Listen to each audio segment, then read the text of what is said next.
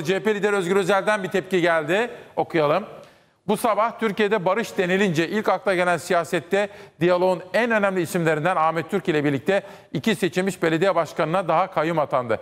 Günlerdir yaşananlardan hiçbir ders almadan, söylenenler hiç kulak asmadan seçimde kazanamadığı belediyelere el koyan, ıslah edemediği siyasetçileri darbeyle görevden almaya tenezzül eden, zihni bozuk, kalbi kötü, eli kirli, utanmaz, arlamaz bir pişkinlikle muhatabız.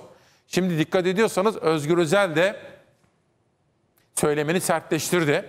Biraz tabii mecbur kalıyor. Şöyle bir taraftan 31 Mart seçimini kazanmışsınız.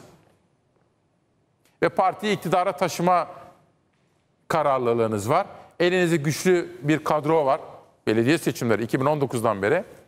Fakat bir taraftan normalleşme adımları atarken kendisinin de ifade ettiği gibi Özgür Özel'in Esenyurt'ta seçilmiş belediye başkanı yerine kayyum atıyorsunuz. Özgür Özel diyor ki e nasıl normalleşeceğiz arkadaş diye soruyor.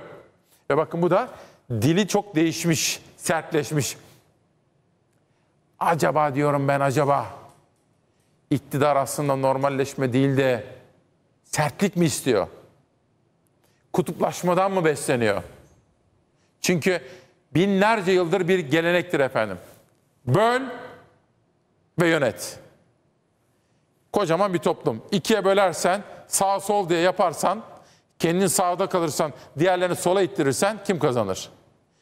Kürt Türk diye bölersen, Alevi Sünni diye, sol sağ diye bölersen kim kazanır? Belki de sertlik yanlıları kazanıyor memlekette. Kutuplaşmadan beslenenler. Normalleşmeyi istemeyenler. Bakın bu söylem. Şimdi Özgür Özel'in bu söylemi zihni bozuk, kalbi kötü, eli kirli, utanmaz, arlanmaz. Çok sert. O zaman normalleşme bitmiş diyebiliriz.